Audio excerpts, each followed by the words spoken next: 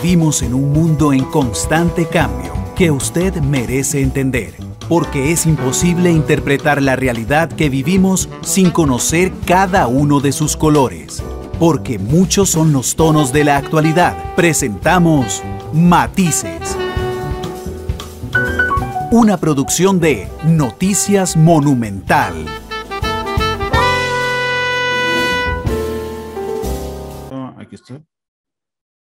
Hola, ¿qué tal? Muy buenas tardes, bienvenidos a Matices. Yo soy Randall Rivera, muchísimas gracias por acompañarnos, por estar en Matices. Y, bueno, ayer se presentó el informe Estado de la Justicia, un informe que de su primera presentación lo analizamos aquí en Matices. Realmente es un trabajo extraordinario que hace una parte del Estado de la Nación, coordinado por doña Evelyn Villarreal.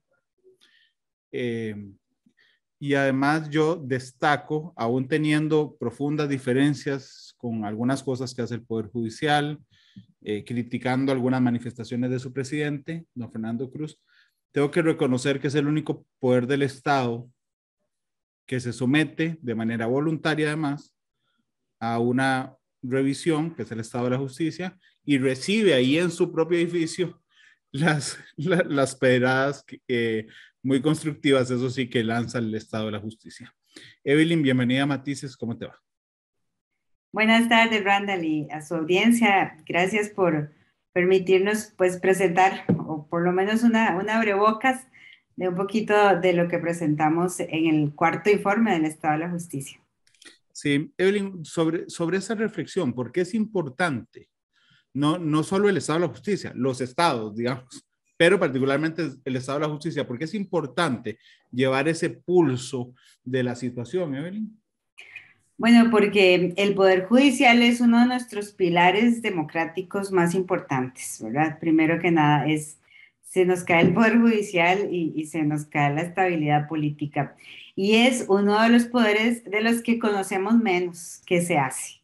Pero el Estado de la Justicia, cuando nació, eh, tenía una convicción de que, habría que había que abrir esa caja negra, ¿verdad? Que era el Poder Judicial, donde sabíamos que entraban casos y salían, pero no sabíamos qué pasaba en el medio, ¿verdad? ¿Qué, qué es lo que eh, estaba pasando en desempeño, en gestión? Y um, estos informes lo que pretenden es poner un poco de luz, ¿verdad? En esas, en esas cajas negras que no conocemos los ciudadanos y ciudadanas, qué está pasando adentro y hacerlo de una manera con protocolos científicos de investigación, de una manera objetiva, porque la idea es hacer una crítica constructiva, como bien decís, es si está bien, señalamos debilidades, ¿verdad? En temas específicos de, del Poder Judicial, pero esas debilidades permiten identificar mejor los desafíos y las soluciones para arreglarlas. Entonces, esta es la importancia, es un instrumento de navegación, decimos nosotros. Y cuando estamos en tiempos convulsos como los que estamos actualmente, estos instrumentos de navegación se vuelven importantísimos, ¿verdad? Eh, para saber a dónde ir, a qué, qué cosas priorizar en, en, momentos de escasez presupuestaria y, y, de presiones diversas. Así que esa es la importancia. Eh, la, la que da, provee información sobre áreas específicas de la Administración de Justicia que se conocen muy poco. Evelyn, ¿y ha servido? O sea, vamos a ver, yo sé que sirve muchísimo con fines de investigación y con fines periodísticos incluso, pero en la construcción diaria de cada poder de la República, particularmente el Poder Judicial, ¿ha servido o han servido las conclusiones, esas observaciones, las críticas que hace el Estado de la Justicia? Mire, yo creo que sí, mi respuesta es que también depende mucho de las áreas con las que trabajamos, ¿verdad? Yo aquí tengo que confesar que, que hay áreas de, de, la gestión del Poder Judicial en donde estas eh, eh, investigaciones se han tomado muy, muy en serio y han servido para impulsar cambios. Y menciono concretamente el área de gestión humana, que incluso ha hecho eh, toda una serie de programas distintos gracias a los capítulos de informes pasados. Pero bueno, hay otras áreas un poco más eh, lentas de reaccionar, ¿verdad? O incluso más cerradas, como por ejemplo la Corte, ¿verdad? Que es uno de, de nuestros temas desde el primer informe, el tema de concentración de funciones en la Corte, una, una gestión muy vertical, ¿verdad? Y aquí ha sido mucho más difícil. Pero el Estado de la Justicia también ha posicionado temas. Yo, yo no sé si, si se acuerda, Randall, en el 2015, en el primer informe, nosotros sacamos un capítulo especial sobre el procedimiento de nombramiento de magistraturas, que en ese momento no era tema, ahora nadie lo estaba viendo y ahora es un tema muy importante. No que nos hayan hecho caso, pero sí por lo menos que está en la agenda pública eh, que este procedimiento tiene serias falencias. No solo no les han hecho caso, sino que no han hecho absolutamente nada. O sea, ese, ese, e, ese, esa dinámica de nombramiento o el método, la metodología de nombramiento que ustedes criticaron, es el mismo hoy. No, está peor, Randall. Bueno, lamentablemente, porque justo esta semana la Comisión de Nombramientos cambió la metodología para escoger a la, a la persona de la sala constitucional y le aumentó 10 puntos más a la entrevista para que valiera 45 puntos. Ahora una entrevista que es totalmente discrecional, ¿verdad? Que no tiene ninguna, ninguna estructura, que lo hacen personas que además no son especialistas en evaluación y gestión humana, ¿verdad? Bueno, en fin, eh, creo que, que, ahí retrocedimos bastantes pasos con esta nueva metodología. Ustedes hacen eh, un análisis, un análisis, digamos, integral y van puntualizando además algunos temas en particular. Evelyn, con, con, el riesgo de la subjetividad, pero con, el, con la tranquilidad de conocerla desde hace mucho tiempo como una enorme profesional, ¿cuál fue el hallazgo que a usted le, le impresionó más? Creo que el tema de cómo se gestionan los recursos humanos para mí fue un hallazgo muy importante. Em, es, un, es, un área, es un área muy sensible porque el capital humano es lo principal que tiene el Poder Judicial y, la forma en cómo se nombran, especialmente las capas gerenciales y los jueces y las juezas, fueron un, fue uno de los capítulos especiales que hicimos, ¿verdad? Como un levantamiento de información. Y eso me impactó mucho porque a pesar de que tenemos una ley de carrera judicial, a pesar de que hay todo un aparato de recursos humanos que hace un informe técnico que, que le da notas a candidatos.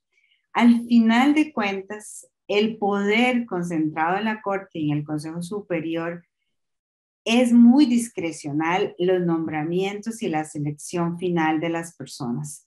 Y esto tiene enormes consecuencias, no solo en términos de eficacia y eficiencia, porque también duran muchísimo para llenar las plazas vacantes. O sea, es un embudo terrible que se hace en la Corte y en el Consejo Superior porque hacen esta microadministración de ir a nombrar persona por persona, eh, pero también, aparte de eficacia y eficiencia, genera un problema de independencia judicial. La carrera de un juez o una jueza puede depender de 12 personas que hacen mayoría en la Corte Suprema de Justicia. Entonces, esto, digamos, creo que la forma de gestión eh, es una de las llamadas de atención más importantes, dado que este recurso, el recurso humano, es lo más importante que tiene el Poder Judicial y salvaguardar su independencia, su profesionalismo, digamos, no pasa por estos órganos. Estos órganos de la Corte y el Consejo no son los mecanismos técnicos ni ágiles para organizar esto. Sí, que de hecho, Evelyn, eh, vamos a ver, yo no el, el, el informe se entregó ayer, eh, yo le confieso, no puedo, no he tenido chance de leerlo todo, lo ojeé, definí algunos puntos que vamos a desarrollar en los noticieros, pero hay uno en particular, hay un punto que, que, que me llama mucho la atención y que además como, como periodista que cubrió el Poder Judicial, desde hace años uno lo nota con facilidad. Voy a hablarlo en términos muy sencillos. Vieran qué aburrido ser magistrado. Este, de cualquier salas, ¿Y sabes por qué lo digo? Porque, porque claro, debe ser muy chiva, y aquí sigo hablando en términos muy ticos, debe ser muy chiva sentarse a ser el juez superior en temas de familia y trabajo, como los magistrados de la sala segunda, o de temas contenciosos administrativos, como los magistrados de la sala primera, ni qué decir de la sala cuarta, ¿verdad? Y tener el futuro, digo, debe ser muy chiva. Pero cuando los magistrados van y se reúnen en los lunes, ahí en la corte plena, vos lees un acta de corte y son tan aburridas. Y no es por la manera en que están redactadas, porque resulta que de los 18 artículos de los puntos que discutieron ese día, hay uno que es de contenido, todos los demás es autorizar el presupuesto para que se construya la fachada del edificio en tal lugar.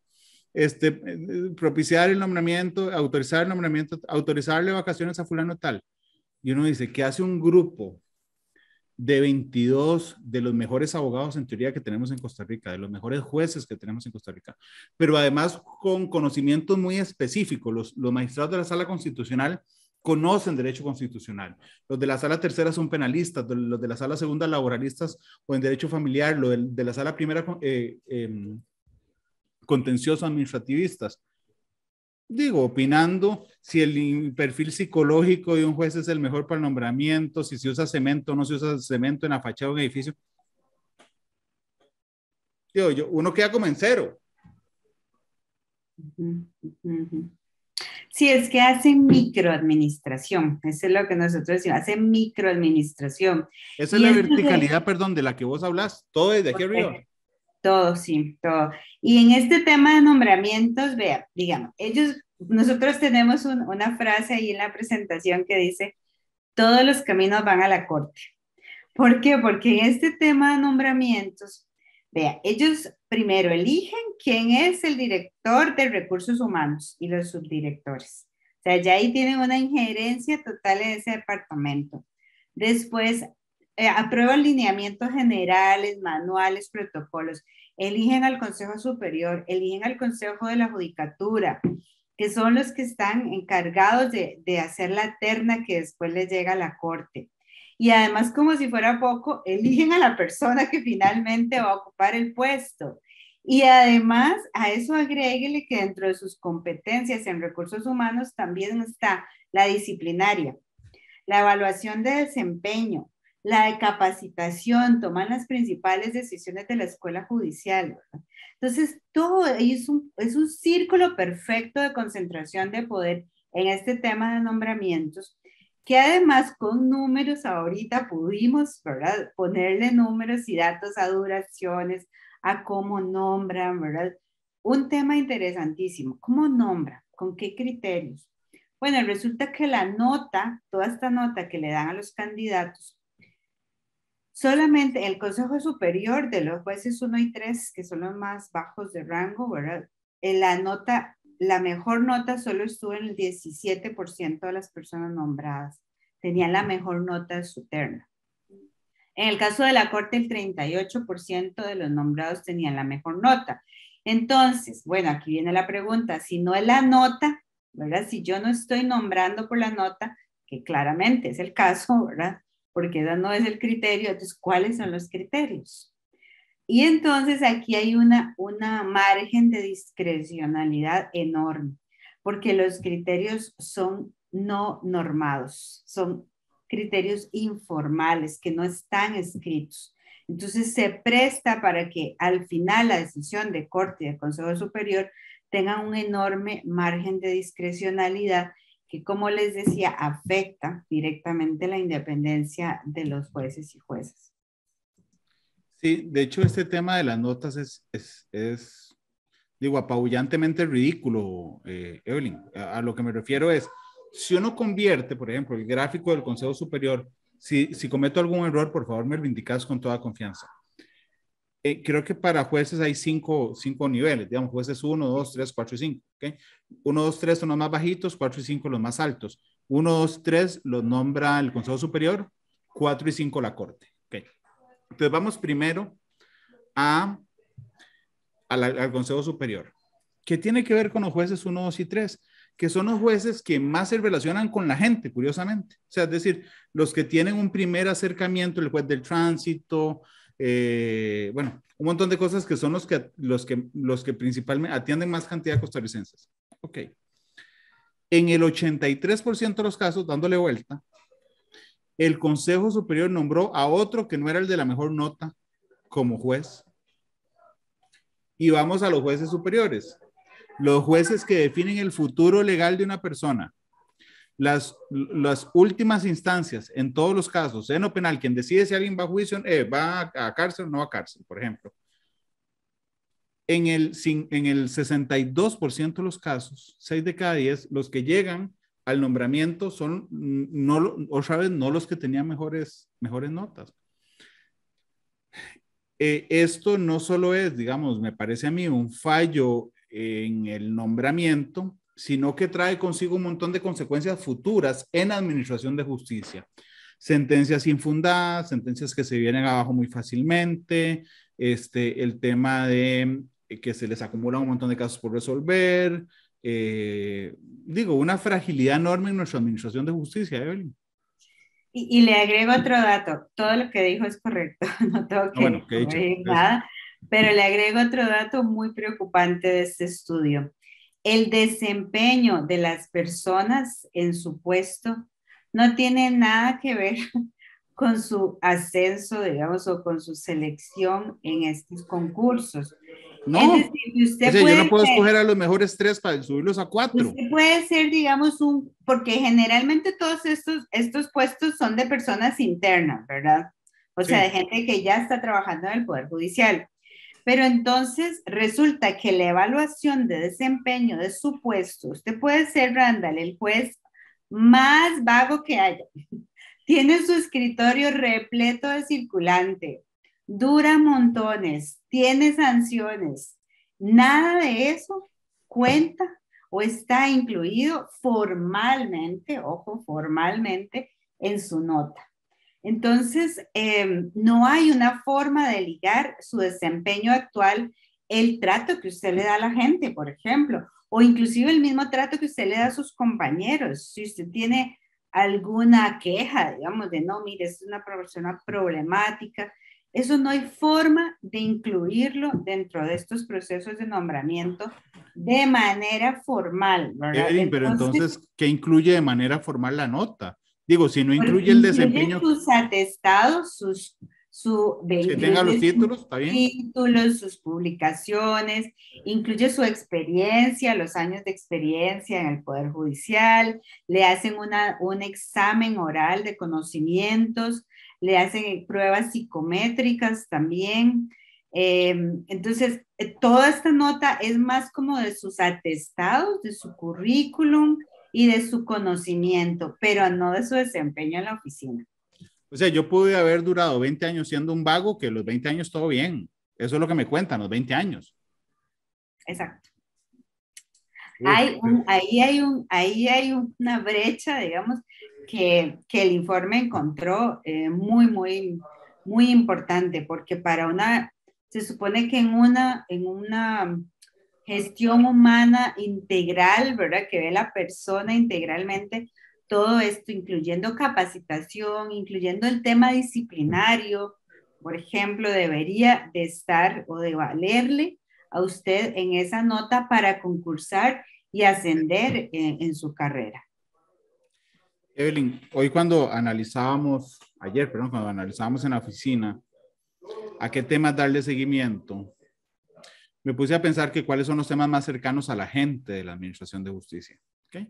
Y hay un, un, lema que es muy famoso, que todo el mundo usamos, que es de la justicia pronta y cumplida, ¿verdad? El leitmotiv de los poderes judiciales del mundo. Este, yo le proponía a los periodistas le proponía a los periodistas que plantearan los temas respecto a si la gente sentía que era eficaz esa justicia, que se cumplieran sus sentencias, es decir, que sea cumplida, ¿ok? Y lo otro es la morosidad, que sea pronta. ¿Cómo, cómo, cómo balancearon esos dos temas en el informe?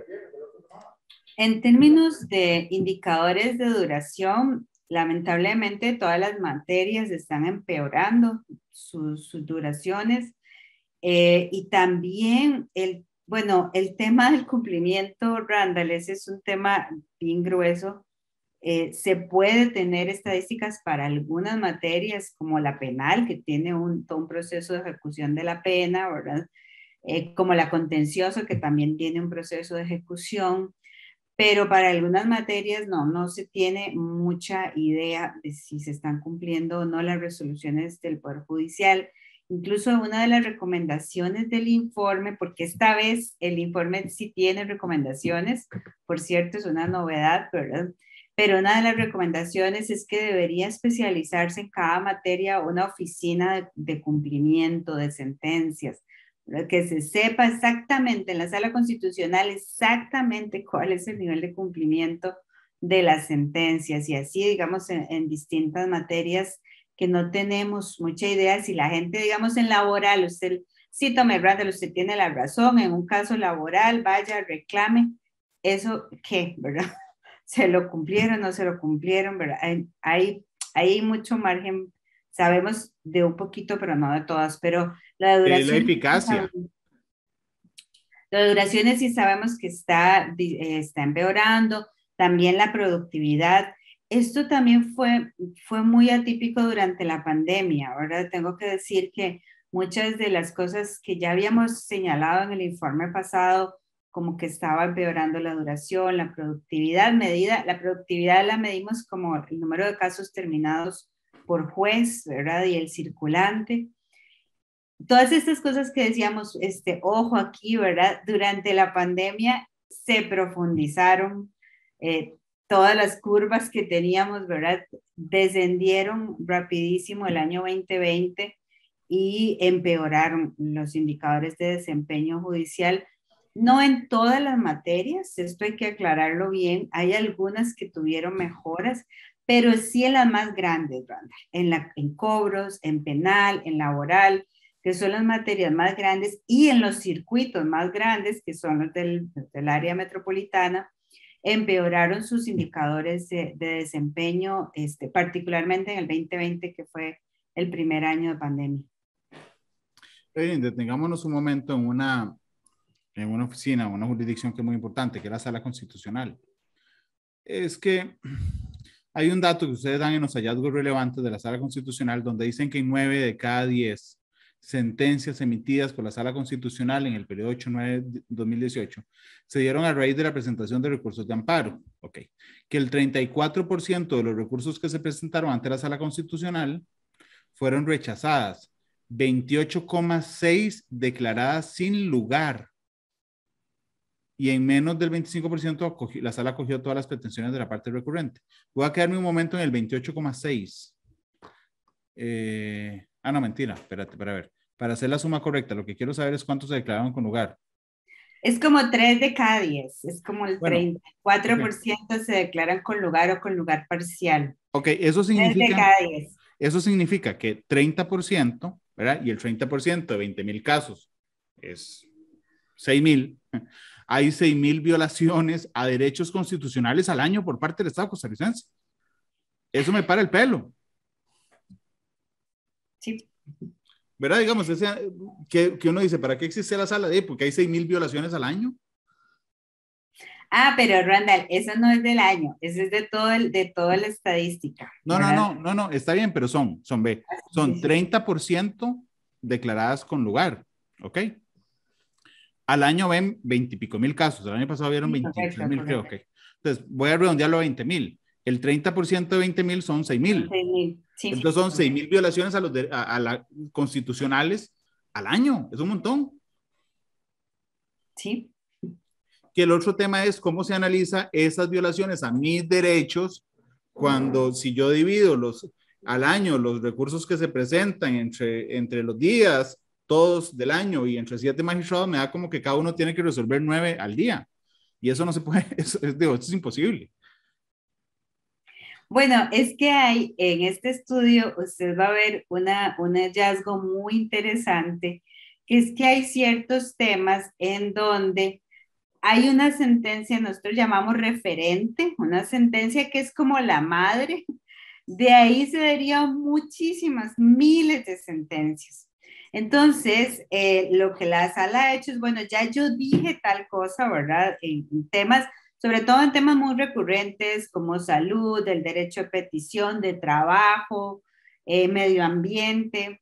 Entonces se establece una sentencia referentes que lo que se hace es seguir repitiendo y repitiendo y repitiendo, ¿verdad? O sea que van creando una línea de argumentativa de la sala en donde esa sentencia desarrolló miles de sentencias más. Entonces, el, si es el mismo tema, la sala dice, mire, ya eso yo lo desarrollé en tal sentencia.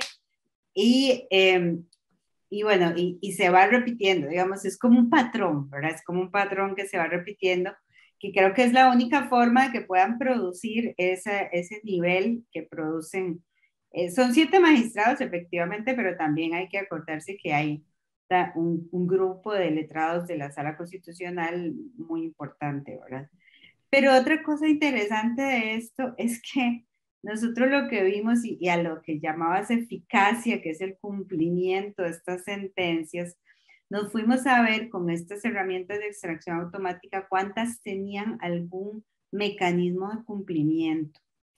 O algo que ayudara, que facilitara su cumplimiento, por ejemplo, como tener un plazo, porque cuando se le da un plazo, ¿verdad? Y, dígame si no es cierto, cuando le da un plazo para trabajar y me lo entrega tal día. Hay más probabilidades de que esa entrega sea efectiva. Entonces, cuando la sala pone plazos en las sentencias y da una orden específica, eso solo es el 2% de todas las sentencias de los 32 años de la sala.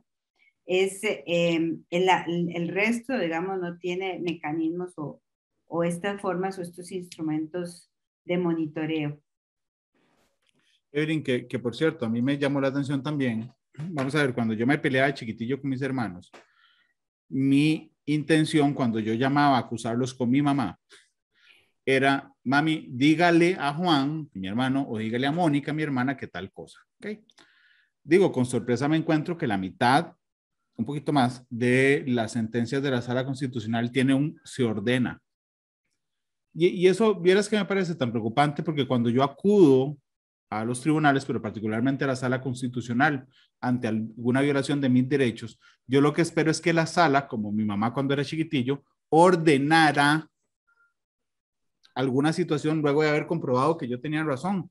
Y me encuentro que no. Entonces, todo en la mitad de los casos, todo se vuelve muy, muy, eh, digamos, muy, como muy invisible a la, al cumplimiento, Evelyn. Sí, son, y, y, lo que pasa es que a veces ahí se ordena, pero muy genéricos, ¿verdad? Que, que dicen, se ordena restituirle los derechos a Randa. Sí, sí. De, eso es, bueno, de, eso puede ser cualquier cosa, ¿verdad? Eso es como molestia a Randall. En, el, en mi metáfora es, hey, ya, ya, dejen de pelear. Es eso. Eso es como, eso queda muy a la interpretación, ¿verdad? De, de la oficina, cuál es, cuál es la restauración de derechos el se ordena específico que yo decía es cuando le dicen, delen a Randall esto y esto y esto y esto. Y además creen un manual para que esto no vuelva a pasar, ¿verdad? O sea, eso ya son órdenes este, ya específicas y como le decía, la ventaja de esto es que tiene mayor exigibilidad porque usted con eso puede ir eh, pues más fácilmente a comprobar si le cumplieron. Ok, y en el tema, vuelvo a la generalidad, en el tema de los plazos, entonces, ¿cuáles son las jurisdicciones más, más complejas, Evelyn? Eh, las que están con un peor desempeño son cobros, definitivamente está por mucho, ¿verdad? Es la que tiene los problemas más complejos en circulante, en duraciones.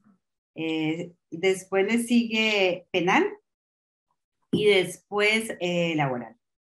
Y laboral, ve qué interesante, porque en laboral le hicimos un zoom, porque laboral es una materia recién reformada, ¿verdad? Se acaba, se acaba de tres años de aprobar el Código Procesal Laboral, de implementar, se le dieron una serie de recursos a la institución y aún así es una materia en donde sus duraciones están aumentando, aumentaron tres meses solo el año pasado para una sentencia de primera instancia. También la productividad cayó De, los, de los jueces y juezas laborales. Entonces, es como que, bueno, tal vez el brillo no estaba en las cobijas porque el nuevo Código Procesal Laboral eh, no está logrando eh, mejorar estos problemas estructurales de la Administración de Justicia. Sí, de hecho, hoy, hoy, hoy fíjate que tuvimos en la mañana una discusión de otro tema, bueno, bueno, tiene que ver con este, pero no con el informe, que era que hay gente en la calle que después de que le hizo una entrevista al ministro de Seguridad Pública, que nos contó que una persona, el sospechoso de matar a Manfred, que es uno de los jóvenes que murió en había sido detenido 92 veces. Entonces la gente me dice, es que lo que necesitamos son leyes más fuertes. Y yo les decía, no, no, es que la ley penal juvenil en Costa Rica es particularmente fuerte. Es un problema de ejecución de esas leyes. Entonces, lo, que, lo, que, lo curioso es que la reforma se hizo para hacer dos cosas, para aligerar el, el, el, cumplimiento de los derechos laborales, ¿okay? y este, para, además para garantizar más derechos, digamos, se amplió un poquito el, el, número de derechos, pero digamos que lo uno era, queremos resolverle rápido sus reclamos y ha sido completamente al revés. Entonces, cuando vos decís, y aquí quiero interpretar bien, que el frío no está en las cobijas, es que el frío no estaba en la norma, estaba en la manera como se, en la dinámica como se resuelve. Sí, en esta, en esta materia lo que nosotros decimos es que las reformas en el Poder Judicial van más allá de los códigos. Los códigos procesales pueden ser una parte de la reforma, pero la otra parte de la reforma viene dada por la infraestructura, las capacidades, el personal, el presupuesto, instituciones también que tienen que ver, que hay todo un ecosistema de instituciones alrededor de cada materia y todo esto son factores que usualmente no se toman en cuenta cuando se habla de reforma. Se cree que, bueno, ya tenemos el código nuevo y esto va a solucionar todos los problemas, ¿verdad? Sin saber si hay, en el caso laboral, digamos, suficientes salas para hacer los juicios orales, porque necesitamos unas salas con cierto equipo, ¿verdad? Tecnológico para poder llegar eh, a hacer juicios orales. Bueno, tenemos suficientes salas para hacer varios juicios simultáneamente. No solo tenemos una, bueno, ahí empieza el embudo, ¿verdad? Solo hay una sala con todo el equipo. Y, y lo, la ocupan varias materias. Entonces, empezamos, esos son los problemas que no se contemplan cuando se aprueban los códigos procesales.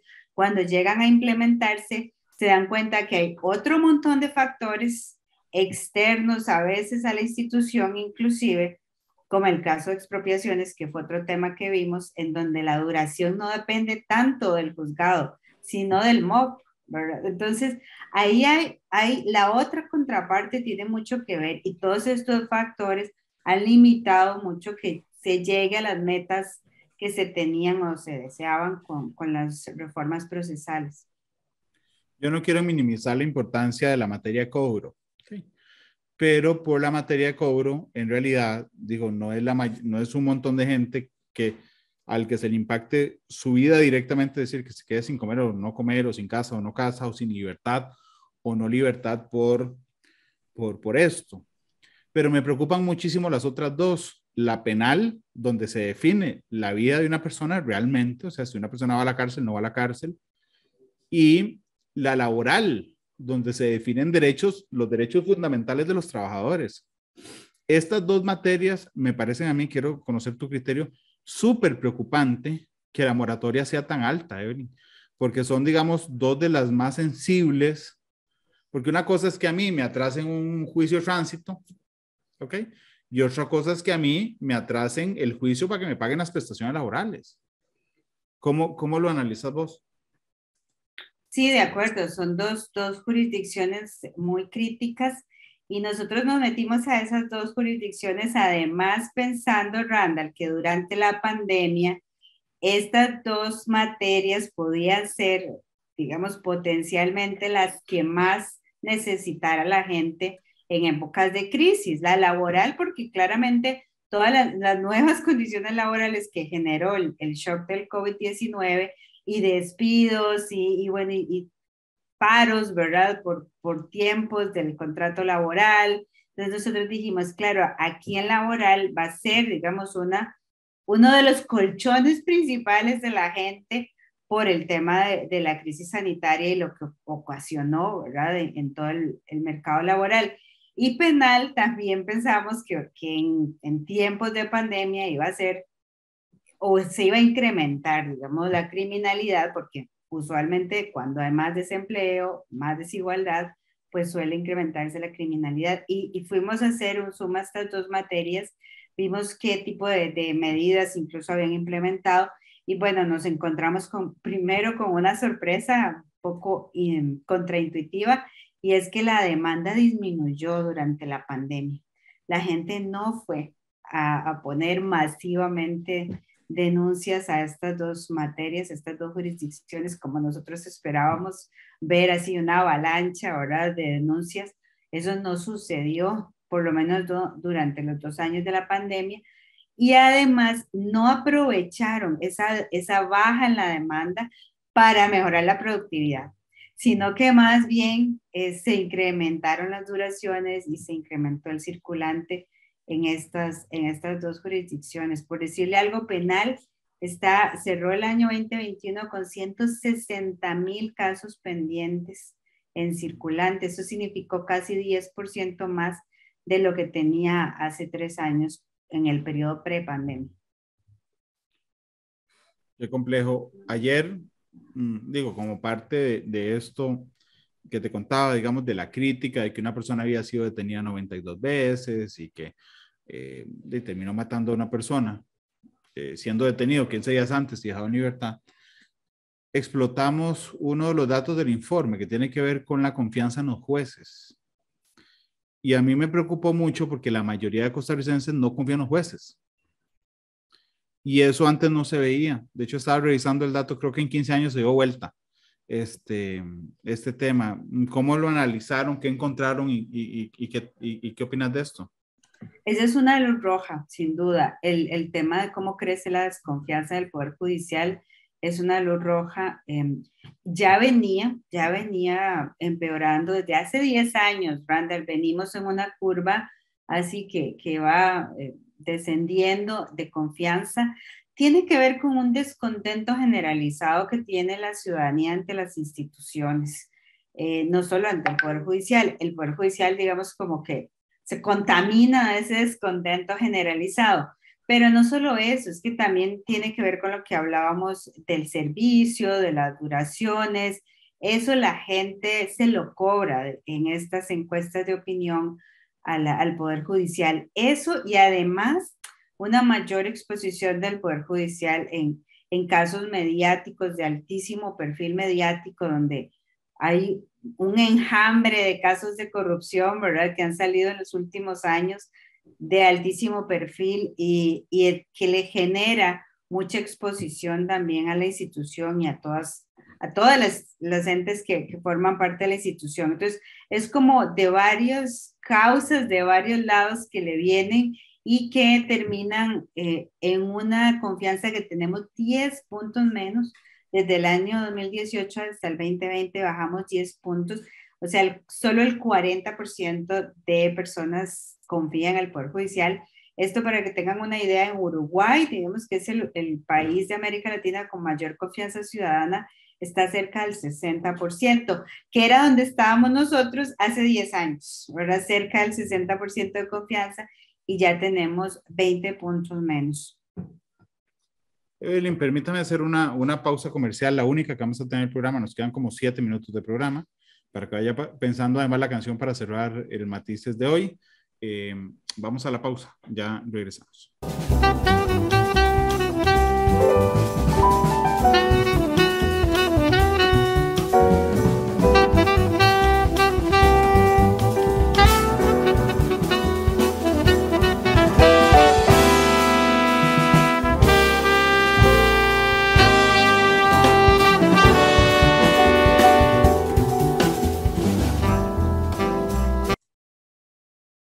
Regresamos a Matices. Evelyn Villarreal, que es la coordinadora del Estado de la Justicia, nos acompaña, se presentó ayer con hallazgos muy relevantes. Otro tema que quisimos explotar nosotros, noticiosamente, Evelyn, tiene que ver con la jurisdicción contenciosa administrativa. Suena muy, muy pomposo el nombre, pero para, para explicarlo muy, muy, muy resumidamente y lo que nos preocupa, demandar al Estado porque contencioso significa que está el Estado. El Estado puede ser demandante, puede ser demandado, no pasa nada. O sea, igual sigue siendo contencioso. Pero demandar al Estado es un dolor completo de cabeza en Costa Rica.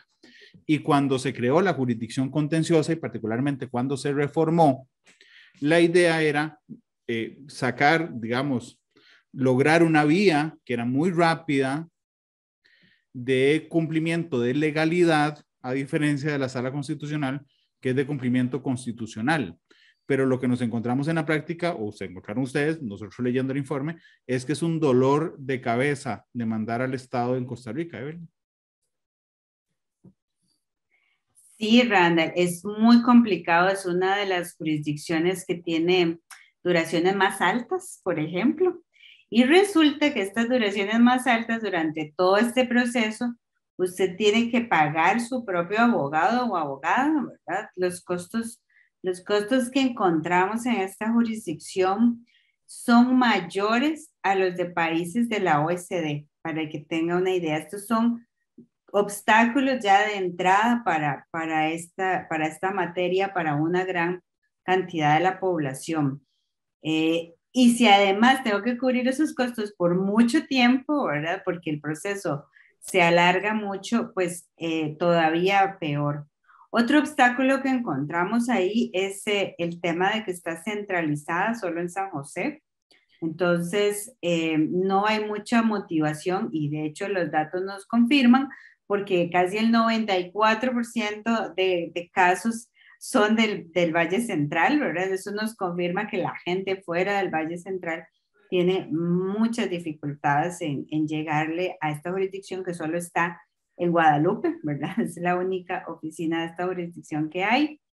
Y el otro tema, em, el, el, otro tema de, de, obstáculos, ¿verdad? Como le decía, son las duraciones. Y en esto de las duraciones, como pudimos ir a ver expediente por expediente, pudimos darnos cuenta dónde realmente se quedan pegados los expedientes. En la parte de notificaciones hay problemas, en la parte también del Tribunal de Contencioso Administrativo, que es el que da la, sentencia de primera instancia, y en la parte de casación, muchos casos en esta jurisdicción suben, ¿verdad? En alzada, la persona no está de acuerdo con, la primer, con el primer resultado y lo apela o va hasta casación, y ahí puede durar tres años más esperando en la sala primera eh, algún fallo que casi siempre son fallos negativos, ¿verdad? Para la persona que apela. Eh, otra cosa que encontramos es que las medidas cautelares casi, casi todas se rechazan también. Entonces, si usted está peleando, por ejemplo, que una contaminación de una fuente de agua, ¿verdad? Eh, no le aceptan la medida cautelar y mientras pasan tres años del proceso, pues ya esa, esa fuente de agua ya terminó completamente contaminada, ¿verdad? Porque no hay como en la, como en la sala constitucional, digamos que sí es más expedito el bloqueo de la acción de, de la administración pública para que no siga sucediendo la violación mientras está el proceso abierto. Eh, estos son como algunos de los hallazgos. Este es un capítulo muy complejo, hay, hay muchísimos detalles ahí, pero hacia manera de resumen estos son. Claro, pero es muy grave porque eh, no sé, devolvámonos en el tiempo, Crucitas. ¿okay? Crucitas pasa todos los filtros de la sala constitucional, ¿verdad? Porque la sala alegaba que no había una violación a los derechos constitucionales. ¿okay? Entonces los ambientalistas empezaron hace años a argumentar que había vicios de legalidad, es decir, que había cosas contrarias a las leyes, no a la constitución. Y fueron al contencioso que se acababa de estrenar, por cierto, en esa reforma, eh, pidieron, si no me falla la memoria, medidas cautelares urgentísimas, que era toda una novedad. Se les otorgaron las medidas cautelares urgentísimas y terminaron ganando gracias a abogados voluntarios este, que se hicieron cargo del caso. ¿okay? Si nosotros nos, nos, venimos a hoy y resulta que hay una historia parecida como la de las fuentes de agua que decía Evelyn, no solo me rechazan las medidas, o sea, ya, ya cuando termine el juicio ya y me dicen, sí, usted tenía razón, de ya para qué, se contaminaron toda la fuente de agua, ¿ok? Esa es una. Y la otra es que yo tuve que pagar abogado todo el tiempo ese. Entonces, ahí hay dos cosas. Otra vez, que lesiona la esperanza o, la promesa que le tiene el Poder Judicial a la población. No hay justicia pronta, porque dura un montón, ni tampoco hay cumplida, porque ni siquiera me, me, me, ayudan con las medidas cautelares.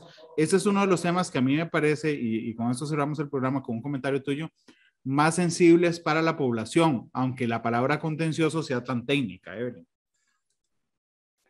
Sí, Randall, yo, yo creo que otra de las cosas súper importantes acá es que hay una, una población que, se, que fue rechazada por la sala constitucional, porque como dijimos, solo, solo el 30% ahora eh, se declara con lugar, y muchos de los rechazos de plano de la sala es porque le dicen a la gente, váyase a la contencioso, ¿verdad? Este no es un asunto de la sala, vaya al contencioso. Y ahí los, los parámetros de acceso a la justicia cambian radicalmente, porque la sala es gratuita, no necesitas patrocinio legal, legal, no necesitas un abogado. En cambio, entonces, en ese caso de la fuente de agua, para seguir, yo voy a la sala y me dicen, no, me dice la sala, esto no es mi problema, ahora yo no sé si está contaminado, no, esto tienen que ir unos técnicos, vaya al contencioso. Si yo probablemente no tenga la plata, sea una vecina de una comunidad o un ambientalista de una ONG y no tenga la plata para tener un abogado del contencioso por varios años. Entonces hay un limbo de gente que se queda sin la sala constitucional, ¿verdad? Y sin el contencioso que, eh, porque no tienen, digamos, porque los accesos son, son muy diferentes. Creo que ahí, habría que ver muy bien cuáles, cuáles son las, la naturaleza, ¿verdad? De, de ambas y, y esa gente que queda en el limbo. Y bueno, a, invitarlos, ese es como mi último comentario, a que, a que usen el informe, a que lo usen, lo discutan, lo debatan, no es para que todo el mundo esté de acuerdo, pero sí es un mecanismo de, sobre todo, rendición de cuentas y de colaboración para mejorar esas áreas de, de la administración de justicia que, que tanto necesitamos. Evelyn, muchas gracias por habernos acompañado. Gracias, Randall. Cuénteme con cuál canción quiere irse. Em, bueno, para compartir nuestros gustos sabineros con... Esta boca es mía. Esta boca es mía. Don Joaquín Sabina, el maestro, despide este, matices. Si, si fuera dedicada a la sala constitucional, hubieras pedido lo niego todo. Bueno, el 70%. Pero, Evelyn, muchas gracias por acompañarnos. A usted, Randall. Esta boca es mía. El maestro Sabina despide matices esta tarde. Feliz tarde, hasta luego. Todas las perspectivas, cada punto de vista.